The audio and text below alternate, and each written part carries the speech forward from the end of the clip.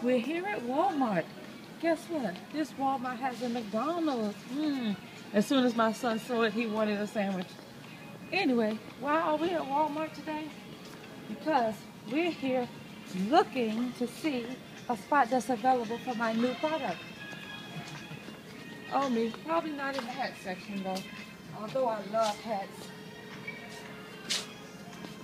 Oh, this one doesn't match. Okay, Sonny. How about this hat? Let's find where my stuff will go.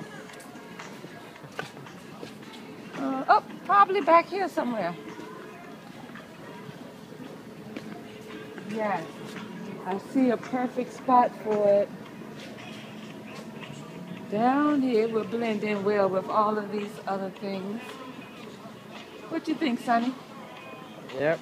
I don't see anything like it on the shelf, do you? No, I don't. Okay, so there is a spot for it. Ooh, don't take them.